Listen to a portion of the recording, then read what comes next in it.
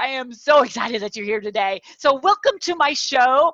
I have the Sandy Lawrence in the room. Oh my gosh, she is an expert in PR and media and all the stuff that we never understand. How are you doing, Sandy? that's true. That's true. Hi, Tonya. I, I live in a world where nobody understands what I do. So, welcome to my world.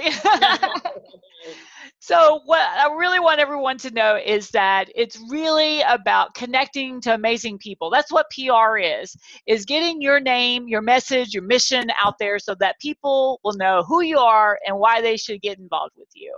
And right, so Sandy is like one of the best people and she is such a giver. I just love connecting to people like hers. Every one of you needs to know her, follow her, get to know her. She's just one of those people that just thrills me. She's the founder and CEO of Perceptive Marketing and one of the top 25 marketing public relations firms in Houston or the world? Houston. Oh, Houston. We'll say the world. we'll fudge a little bit.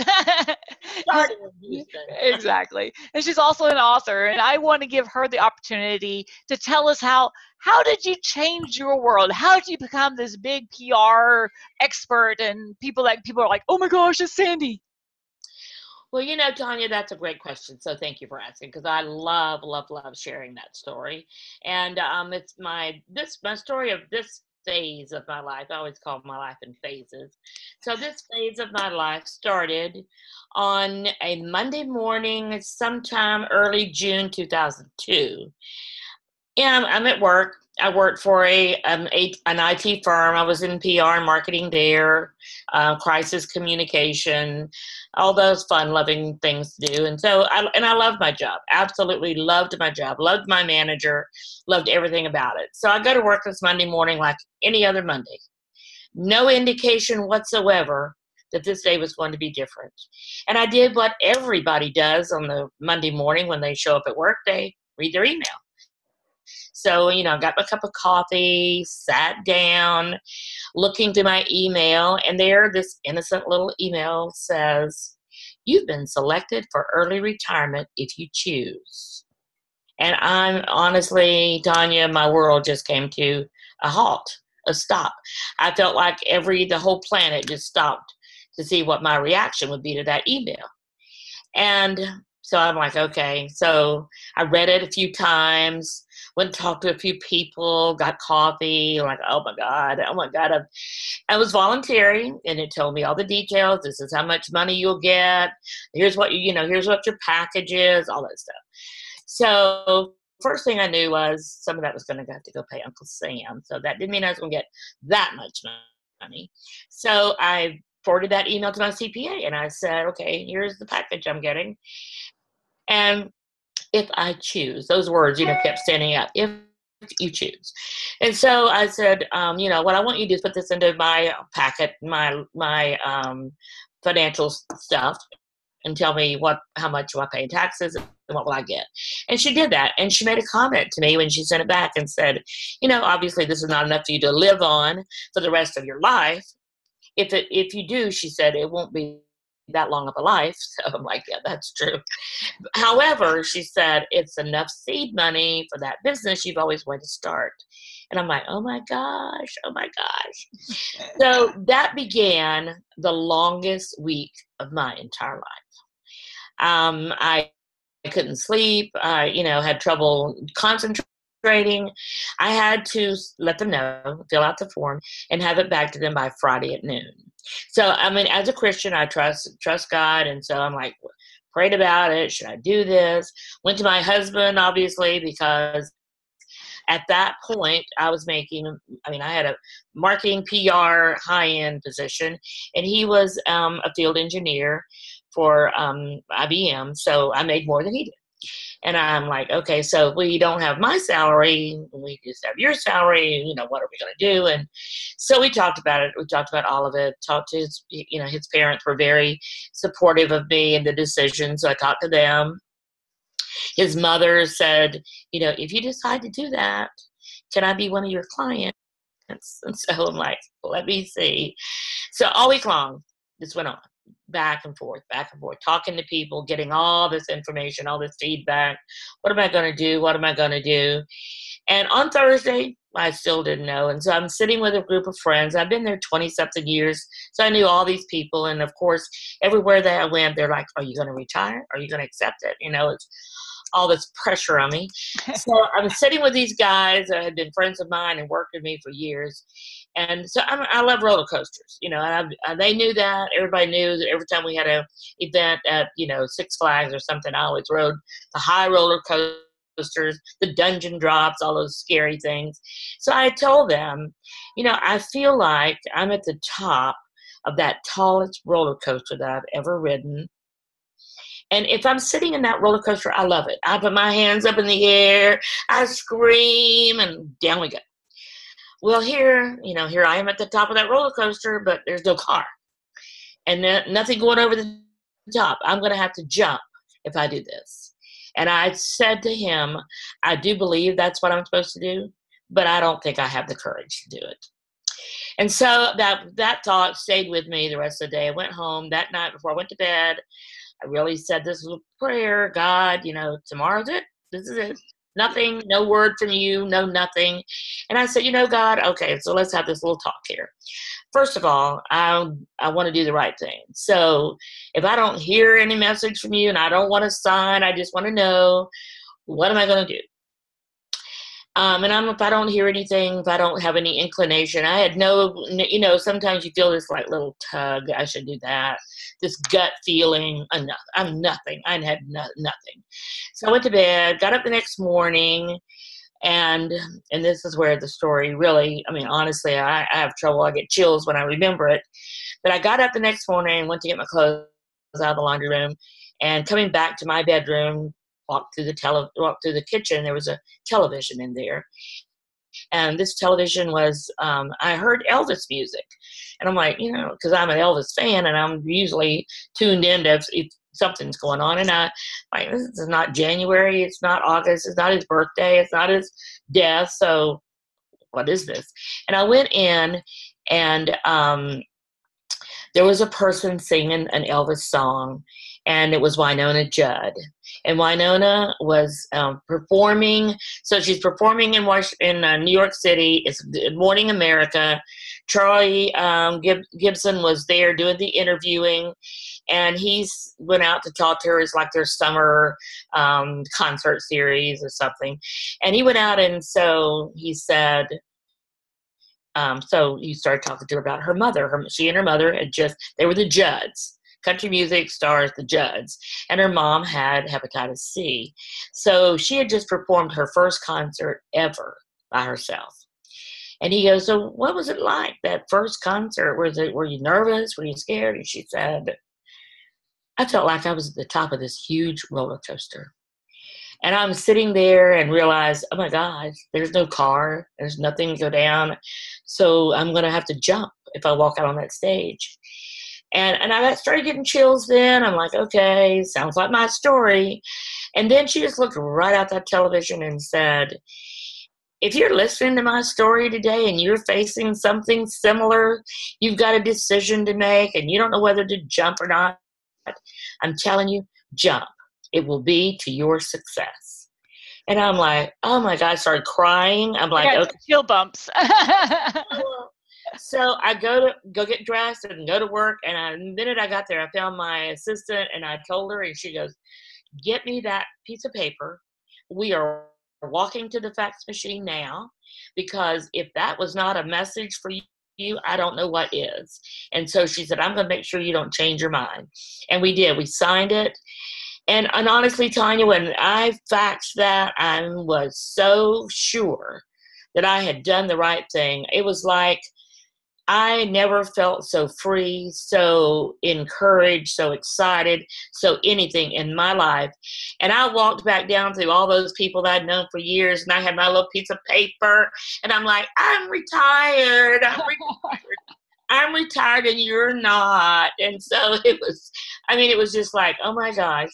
And I have to tell you that I'm, there's been plenty of times. So I've been doing this for 12 years now.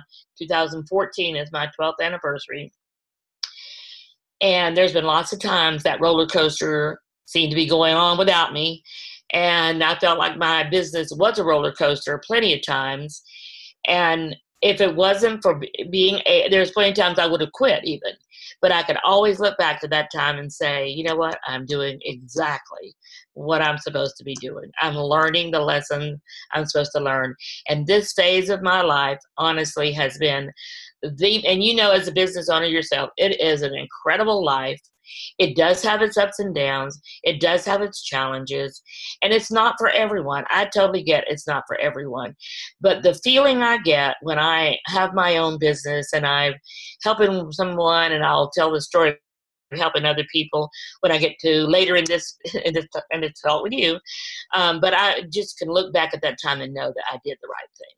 Oh, yeah, that's fantastic. I mean, how encouraging is that? And what a lot of people, what I find is that people either never get on the roller coaster, they don't even start the ride, right. or every time it comes back around and they see that, you know, ending, they get off and they never continue the ride you know and the fun is is the ride is going through and yeah there's challenges but there is huge leaps and bounds and so much excitement Yep, lots of highs. There's some lows along the way.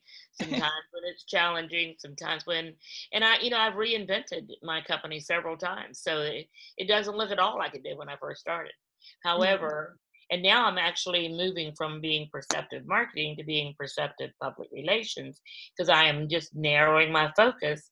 And and it's all been it's, it's, all been great. Been the learning the people i've met like you like michelle Sissom that i work with like my clients that i've worked with um, elizabeth mccormick all the people i've met throughout all the people in psa public speakers association. If not for taking that challenge i would never have had opportunity and the blessing to know you and to know all these other wonderful people. So it's been a really wonderful ride. I've enjoyed it all. Well, and it's about tweaking, you know, and you just said it best. You've got to put yourself out there to find out what works and what doesn't work. And when people find something that doesn't work, they're like, oh, see, told you it didn't work. And I'm like, no, that's just part of the, the transition to figure out what does work for you it's all growth. There's a lot of growth, a lot of times, and I've used a lot of analogies over the years, over the past 12 years, of what you know, what this this um, phase or this time I'm going through. What does that mean? And it's a lot of it's a lot of growth. It's a lot of breaking apart that seed so that the you know the new me can come through. And and I'm not the same person. You know, I I am more confident today than I was 12 years ago. I'm more adventurous. I take risks. You know, I came from living a nice, safe life where I got a salary every week and, you know, I planned my life and I knew exactly what was going on. To now, you know, I'm you know i'm planning a business and sometimes it goes the way i plan it and sometimes it doesn't so but it's, it's exciting either way it's exciting and i love it well, and you're one of the directors for the Public Speakers Association, which I love. You know, it's like woohoo! And one of the things that I, you know, because we've almost known you've been a part of PSA almost on our entirety. You know, we launched in January of 2013. I think you came in that February year or so. Yeah and i've seen you grow and you've seen me grow and that's what it's about is helping people move through the transitions and giving expertise when you see someone needs it. And i think that is something that a lot of people um, they just don't offer you know? They just take it as you know you either have to pay me or go away. And to me it's about helping each other move forward. Don't you find that Absolutely. And it, I mean, and I'm a, I am a giver. You said that earlier. I love helping people. And there is no other way I'd rather help someone than to help them if they're a new company, a startup company, um, help them with mentoring, help them with, you know, understanding how to grow a business, sharing. I mean, I've been very honest about some of the mistakes I've made. I mean, I've made a lot of mistakes in running a business. I didn't have any experience as a business owner, so um, so sharing what I've gone through, sharing my story, has been a big part of the mentoring and the help that I've been able to provide. Not only help them by offering some of my services occasionally when they need them, or help by mentoring some of the younger directors in PSA or any of that. It's just all it, it all works together. That there's just so many opportunities to be part of your organization and be friends with you and friends with Michelle and Bellany and all the people, all my clients, Kathy Loftman, and you know um, all the people I work with that are just it's just you know it's just great to be able to help people. Well, I always think of it as, you know, if you're playing a chessboard, you know, I can see somebody and see how to play, go all the way to checkmate with them, right? So if someone wants to say be a speaker and they want to figure out how to do the speaking world, how to make money from it, I've already figured it all out. But a lot of people are just trying to figure out how to make the first move. They don't even know how to make the first pawn.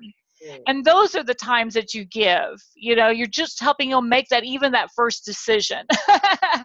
and then once you start playing the game, that's when you stand up and you're like, okay, now it's about actually hiring Sandy, actually hiring me, actually hiring people to get you to that next phase so that you can win the game. Yeah.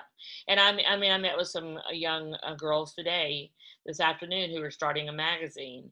And there's so many people that have so many really bright, brilliant ideas. And I love working with young people because they are creative. And these people are just graduated from the Art Institute and all this other. And I was, you know, I just shared some things with them. And it was just great to be able to see, you know, how excited young people still get when you, you know, offer them a few suggestions that, you know, you might want to try this. You know, have you thought about this? And it was just, it's just fun for me. I love doing that. I was just speaking at a fraternity sorority group at the University of Texas last night, and you just see their little minds, and they're, and it's just all the wheels are broke, you know, working away, and they're not at that I'm afraid to do anything stage. They're still open for any possibilities, you know. And sometimes it's a little too much because you're like, okay, you know. but it's so adorable. I just love working with kids. I know. I do, I do too. so tell us how you change the world. What's some tips, tips, and techniques that you can give us um, to help us further in our business and our, you know, what we're wanting to do? Well, I would just love to share some tips with oh, you. Good. so one of the things I have learned is that people don't understand PR. Like we started this whole conversation is a lot of people don't understand. It's overwhelming. Um, I talk to people that say, "Well, I sent a press release and nothing happened." my PR, I spent all this money. I didn't see the results. So, my first thing that I work with people is to help them understand that publicity helps you to get known outside your normal circles. So we all are, you know, we're all part of social media. We live in a social media world today, and so we're all um, understand how to, you know, post on Facebook and send a tweet and all this stuff. But how do you get outside that? Because the people that see that are some people that already know you. They already either have a relationship with you, or they've heard you, or they know about you from you or from other, some of your other previous stuff. So what I do is help people understand how to get outside that circle, how to get publicity, and we do that through um, through several different channels. But first, I want to tell you about the story, Tonya. I love this story. I was reading a book last weekend. It was right before I was um, speaking at Michelle Sissom's con- uh, conference or three day event. And I was like, what illustration can I love stories? Like, what illustration can I use that will really help the people there know what I do? And so I happened to pick up a book and started reading it. And there was a story, which is true. I checked it out on, on Google. It must be true. so this, um, in 2007, in January, a young violinist was in L'Enfant Stadium, um, L'Enfant Center, which is a metro center for Washington, D.C. And he went over and picked up a violin in the middle of the rush hour. People going, coming, going, coming, thousands of people going. He started playing this violin. Nobody paid any attention. Nobody stopped. Nobody did any. A few people threw change in, you know, this little cup he had out there. So I'm reading this story and found out that this was like a social experiment. Two days before, this same guy, who was Joshua Bell, who was a world renowned violinist, had played in a concert there in Washington, D.C. Tickets were $200 for the nosebleed. So that was the lowest ticket. And it was a packed house. And as I read that story, I'm like, oh my gosh, that's my PR story. Because when they knew who he was, they were willing to pay any price he charged. When they didn't know who he was, they didn't even give him the time of day. Didn't stop, didn't listen, and he played the exact same music on the same million dollar Stradivarius that he played. Everything was the same. In one scenario, he was known, in one scenario, he was not heard of. So, what I do is help people be able to be known enough to charge for their services, for their programs, to have a ticket price and have people be interested and willing to pay whatever your price is because they know who you are and they know what you do and they know the results of what you've done. And all you have to do is tell people about it. Really, it's, sim- it's that simple. You tell people about it. So, my tips start with first of all, tell people when you do something. So if you get an award, if you have a new product coming out, if you're launching a new business, if you're doing anything that you can tell people about, then tell them and tell them through social media, but also use press releases. That has become my most popular way of helping my clients get visibility, and that is creating a press release. Um, so some of my clients get three press releases a month it's like you can't do one press release and think that uh, the whole world is going to hear about you. You got to do more, and you have to do regular, ongoing, once a month, twice a month, three times a month. And so I come from, you know, I come from an old school of, you know, know for marketing and PR, it's all about knowing the value. Um, knowing the benefits and putting that in your value proposition, all that. So that's what PR is today. It's just differently. So today, I take a press release. I'm working on a press release right now for one of my clients, Melanie DeShong, as you know, and she's got a three day conference coming up in Houston, October 24th, 25th, 26th. We're sending out all kind of press releases. And what we're doing is sending them out through sending them directly to the media. We're sending them through a PR distribution service. And then we're also posting them on Facebook, LinkedIn, Twitter, pictures of her on Instagram, Pinterest. What we're doing, and it's not just me, it's our whole team, what we're doing is promoting everything to in every using every vehicle that's possible. And i saw this work with michelle's event a few weeks ago a couple weeks ago now with Bellany i've had clients be on um, oprah. I had one client on oprah. I've had clients on um, uh, Fox News, on Sean Hannity. Um, so the thing is, you just keep going with getting the word out about you and at the same time building relationships. So what I do now is capitalize on a lot of relationships I've made for 12 years because in the very beginning, I started out by understanding that marketing is building relationships. And so now today I know those people, but it takes starting. So I tell anyone, you know, you don't have to hire me to do PR. It's not rocket science. It's time consuming. It's good to have a path. It's good to have a plan. Know which direction you're going. Know what your goals are know who you want to build relationships with, and then keep following through that.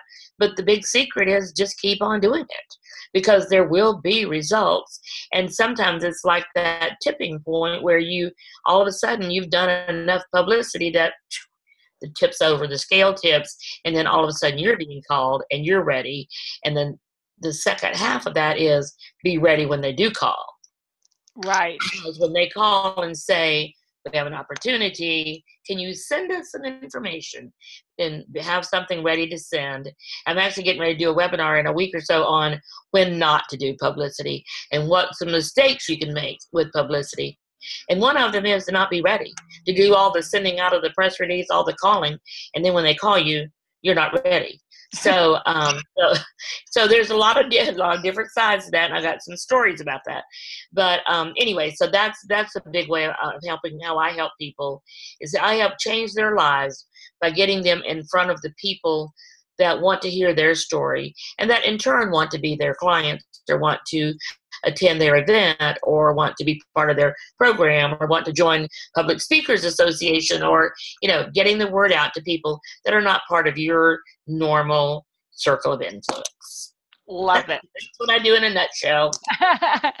well, and I for me, it's frustrating because people will walk up to me and they're like, "Oh, I want to be paid twenty-five thousand dollars to speak on stage. How do I do that?" And I'm like, "Who are you?" I know, I know, I know. And where did they get this idea that suddenly they're the expert and that everyone already knows them? You know, it's just amazing to me. And so you, people do have to get their name out there. And I think that's really hard for most people to grasp that it's not about the subject it's not about you know what their expertise is and not really even their message it's about who they are and why do people care? Why would they care? Why should they care?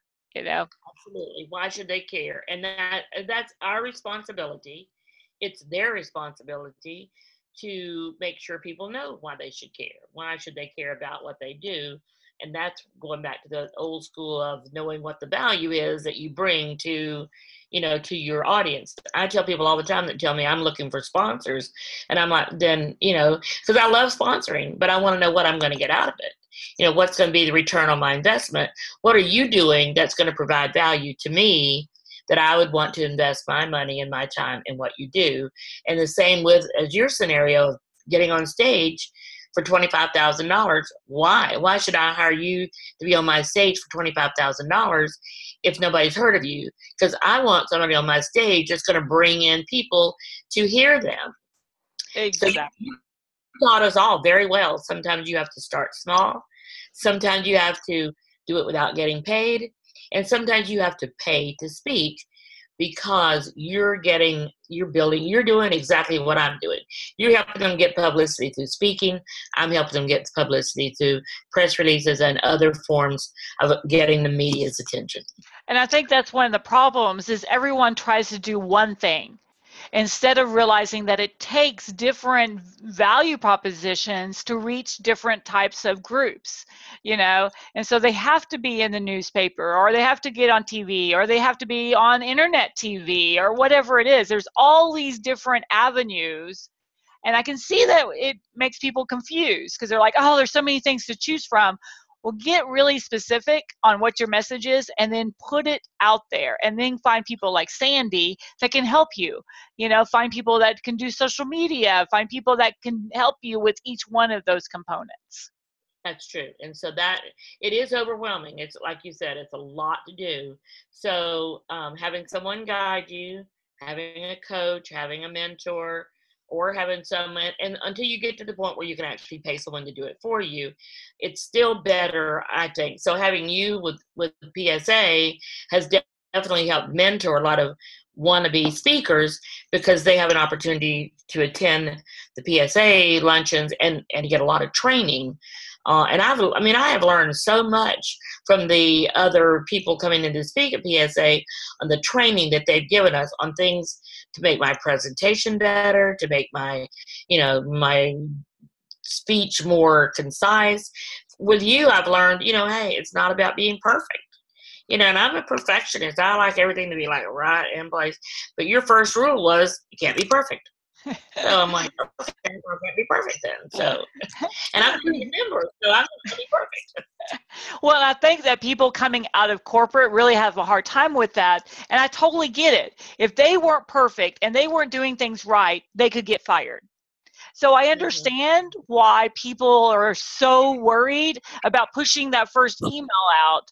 Oh, well, what if it offends somebody? Or what if they didn't like the way I said this? Or whatever instead of just pushing it out and finding what happens. Absolutely, I know, I know. So, but that's that's risk. That's the risk you take, and that's you know that's not easy the first few times. I, mean, I think it gets easier, and now you know I don't really stop and think about it. I can tell you the first time I ever did a webinar, it took me like seven months before I finally just said to myself, just do the webinar Yes. Whatever happens, just do it because I could be in this planning stage for the rest of my life. So it always takes, just like you've taught us, and you know, we all learned by practicing, by doing, is just take that first step. It's you know, do it. Just do it. now you're giving away something like eh, you know. I just get so excited this part of the show. So tell us what you're giving away because it's like amazing. Okay, so what I have is my website is Perceptive, and that's P E R C E P T I V E, Public Relations. PerceptivePublicRelations.com. And on there, you'll see on the right side a little thing where you can um, get a free gift, which is 50 plus PR ideas and tips. So just tips that you can read. I don't know about you, but I like tips. And I like just to read some tips and it gives me ideas to try this or try something else. It's just like brainstorming. And then also on that same site, there's a PR assessment. So if you want to have a 30 minute conversation with me on your PR, what you're currently doing, what's working, what's not working, giving you some more tips, giving you some ideas one on one, then fill out that PR assessment, click submit. It will come into my inbox magically, and um, and I'll be in touch with you, and we'll set up a time. Awesome. So make sure that you take advantage of that. Give them the website one more time. Perceptive. That's, and Tonya told me to be sure I spell it. Not everybody can spell perceptive. P E R C E P T I V E, public relations. PerceptivePublicRelations.com. Perfect. Thank you so much for being on today. Thank you, Tonya. Yay. Thank Yay. you. So, everybody, obviously you want to get to know sandy. Follow her on social media. Check her website out. Get that take that assessment. You need it you know it. And then follow us. Mine go to my website Tonya Hofmann 1f2ns.com so check me out and there's a um, all kinds of fun things on there. And then public speakers association make sure you're following me on there. We've got all kinds of uh, speakers assessment and all that kind of fun stuff too. So get involved. Sandy's information is on there. Book her to come speak. She's spoken at my events for me. She's amazing. You definitely want her on stage. She's got so much information she could bring your audience. So make sure that you talk to her about coming and speaking at your next event. Yay. So yay. So thank you, Sandy. Thank you, everyone, for being here. Come next time. You know I'm going to have an amazing guest, and I will see you later. Bye. You, Bye. Go, go change some lives.